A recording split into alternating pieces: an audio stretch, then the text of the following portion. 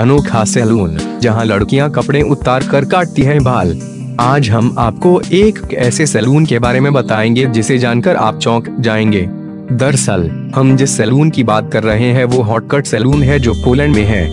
इस सैलून की विशेषता है कि यहाँ आने हेतु मर्द ग्राहकों की लंबी लाइन लगी होती है, क्योंकि यहाँ बाल काटने हेतु टॉपलेस हेयर ड्रेसर होती हैं। सूत्रों की माने तो इस सैलून की मालकिन वो टेकवे सेल्वेस्की को विचार तब आया जब उन्हें लगा कि उनके सैलून में अधिक लोग नहीं आ पा रहे हैं तो उन्होंने ग्राहकों को आकर्षित करने हेतु ये टॉपलेस सैलून खोला डाला। इसके सिवा उनको अपने सैलून हेतु टॉपलेस लड़कियों को तलाशने में पूरे 18 महीने का वक्त लगा है। तत्पश्चात उनके इस सैलून में लोगों की काफ़ी भीड़ एकत्रित होने लगी।